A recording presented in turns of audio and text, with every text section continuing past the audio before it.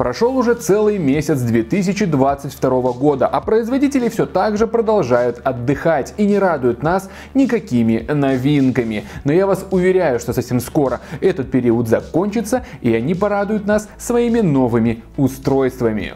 Всем привет, меня зовут Глеб, а с вами как всегда сигарет нет. И сейчас я расскажу вам про девайсы, которые можно смело приобретать в 2022 году. В первую очередь я хочу сказать, что если вы никогда в жизни не пробовали парить и являетесь таким сильным новичком, то начните с одноразок. Они относительно бюджетные, но при этом позволят познакомиться с вейпингом, понять какая крепость вам нужна, ну и конечно же, нужен он вам вообще или нет. Итак, поехали. На пятое место я, конечно же, поставил X-ROS Mini и X-ROS 2 от компании Vaporeza. Большой аккумулятор на 1000 мАч, отличные вкусные картриджи объемом по 2 мл, круто передают никотин, обладают хорошей затяжкой. Правда, в мини-версии вы будете довольствоваться только тем обдувом, который настроили за вас на заводе, а вот в версии X-ROS 2 вы можете самостоятельно его отрегулировать. Захотели более свободную кальянную затяжку, поставили большое отверстие. Захотели более тугую сигаретную, поставили маленькое отверстие.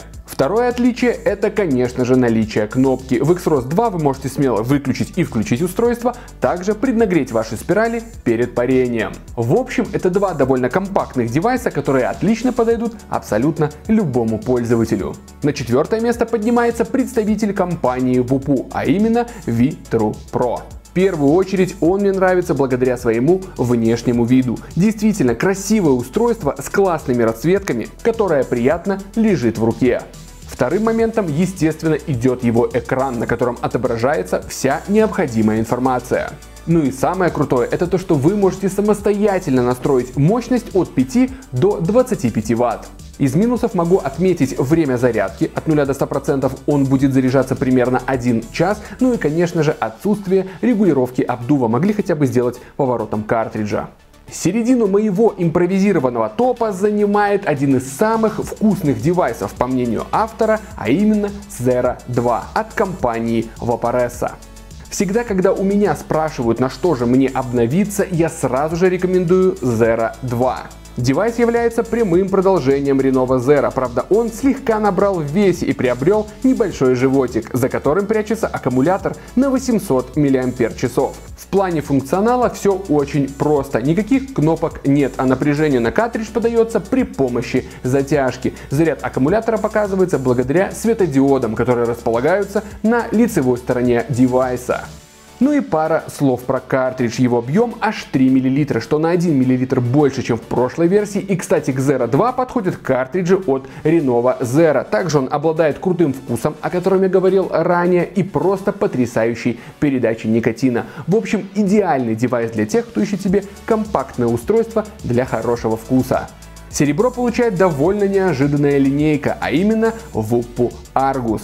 С одной стороны простые, но при этом качественные и безумно симпатичные девайсы. Даже их подсистема обладает своеобразным шармом, чего только стоит их Argus Pod с шикарной кожаной вставкой. Сами же Аргусы мощные и вкусные девайсы с необычным дизайном, который разительно отличается от всей массы устройств. Вместительные баки с действительно классными испарителями и регулировкой обдува. Также нельзя забыть про хороший функционал, благодаря которому вы можете настроить себе девайс под ваш стиль парения. Также ни в коем случае нельзя забывать про хороший функционал, благодаря которому вы можете с легкостью настроить устройство под все свои нужды. Линейка аргусов довольно обширная, так что вы с легкостью найдете девайс для себя. Ну и на первое место я поставил один из своих самых любимых девайсов от компании Smount под названием Sharon Baby Plus.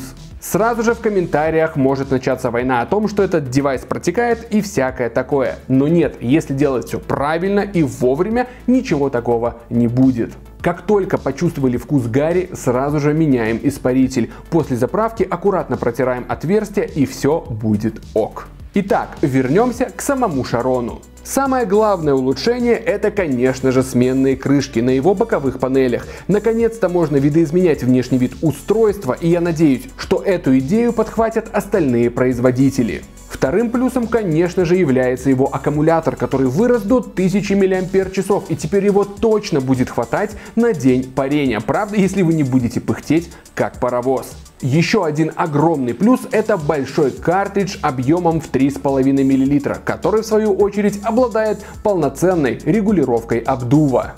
Но и не обходим стороной его испарители, которые классно передают как вкус, так и никотин. И вы можете смело парить нулевку, солевой или обычный никотин. Вот такой топ у меня получился. Если вы с ним не согласны, то вперед в комментарии, там и обсудим. Спасибо за просмотр, с вами был Глеб и сигарет нет, и до встречи на нашем канале.